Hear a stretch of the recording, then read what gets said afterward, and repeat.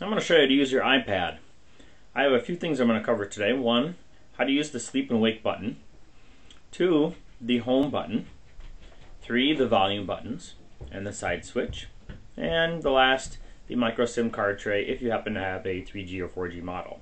So to get started, the sleep and wake button on an iPad is located right here in the top right hand corner. This will actually lock and unlock the iPad. So if I push it, you can hear a little button actually get depressed and the screen turns on. If I push it again, it goes off.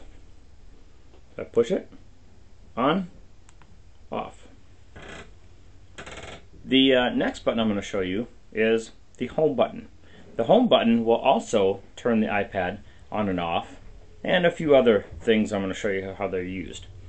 The home button is on the bottom of the iPad. It's a circle button with a square in it. If I push it, it turns the iPad on. And if I push it again, with a double tap, it shows the on-screen controls for the volume and to play music if you happen to have any music. There's another icon here that I'll cover later. We'll talk about that later. So, as you can see on the screen, it says slide to unlock. If I slide this to unlock, I'm taken to the home screen where all the icons are displayed. The home button, if I'm on a different screen, will take me back to my home screen by pushing it one time. The multitask bar is accessed by double tapping the home button while the screen is on. And it shows me all of my previous apps that I've run on this iPad. Now the multitask bar also has another option. If I slide this bar to the right, I can see I have more controls. This is the audio playback controls and also the screen brightness. If I zoom in a little closer here, you can see this is the screen brightness control. And over here is where I can turn the volume up and down, as well as controls to play music if I have any music on here. If I want to access my music and choose a file to play, I just tap the music icon. And tapping the home button takes me back to the normal home screen and removes the multitask bar. The other option I can do is the volume button. The volume buttons are on the side. If you can see over here on the side, there's a toggle button up and down and then a switch that we can slide up and down. We'll talk about the side switch in a minute. The volume buttons are to increase and decrease the volume and it happens to be on the same side as the switch the sleep and wake button switch. Here's my little side button switch and the volume buttons right here up and down. So if I push the volume button up I can see my volume going up. If I push the volume button down you can see the volume goes down. That's the volume button. And again, I showed you how you could also use the volume button through the audio playback controls. Remember, double tap the home, slide the multitask bar over, and you can adjust the volume right here. And tap the home again, takes you to your home screen. Okay, um, the home button. Long as we're on it, let's do one more thing with the home button. Remember I was on a different screen if I tap the home button once, it takes me back to my home screen. If I tap it again, it takes me to the search screen. Let's say I have a lot of applications installed on this iPad and I need to find the application that I want to use. Let's say it's Dropbox. So I type in D-R-O and it will show Dropbox in the list there's Dropbox. All you need to do is tap on that and it will open up the Dropbox app. That's how we can use the search.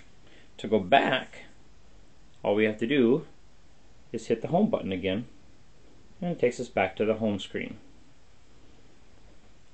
Now, the side, the side switch on the side, right here above the volume button, is used to mute any kind of sound effects or alerts. So if I just slide it on, you can see there's a little red indicator behind that switch that shows that it's turned on. And then I turn it off. The little indicator, red indicator, is covered up. So right now it's covered up, it's not on. So if I slide the switch, you can see that the display shows no sound will be played because I'm using the slide switch as a mute notifications, alerts, and sound effects. If I want to use this as a lock screen rotation, I'm going to need to go into system preferences or settings in order to make that change. Here's my settings icon on my home screen. If I tap that, I go into general and there I can see the lock rotation at the bottom. It says use side switch right here under general for lock rotation or mute. Right now I have it on mute as I just displayed. We're going to change that to lock rotation. So now if I go to the home screen by tapping the home button Lock rotation will lock the screen from rotating. This is the example of what rotation does. There it rotates. So if I put it in portrait mode, it rotates. Put it in landscape mode, it rotates. Now my switch is set to off. If I turn it on, you can see the little red indicator you can see here when I switch it to on, it's going to lock it. So now when I turn my screen, it won't allow it to turn. If I move the little switch, like I'm going to do right now, it unlocks it and allows the screen to rotate. So if I want to lock the screen in this portrait portrait mode, I lock it, and then I turn it like this, and it will not allow the screen to turn.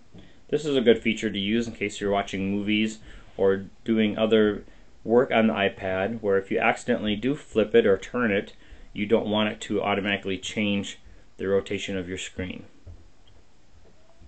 The next item I want to show you, which I can't on this iPad, is your micro SIM card tray.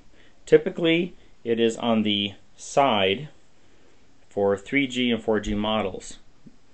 And this one doesn't have it but this is where it would typically be.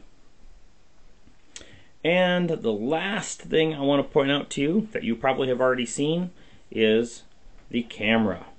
There's two cameras on iPad 2s, iPad minis, and iPad 4th generation and 3rd generations. Right here is the lock button that we talked about. This is the sleep and wake button the lock button and the volume buttons. And you notice right underneath the sleep and wake button you see the camera. This is the back camera. It is usually higher resolution for taking photos or videos. On the front of the iPad, if you look in the glare of the light, you can see right here by my finger, there's the front camera. This is usually lower resolution for doing FaceTime or other types of video conferencing like Skype. I hope this was a use for you. If you have any questions, please do ask.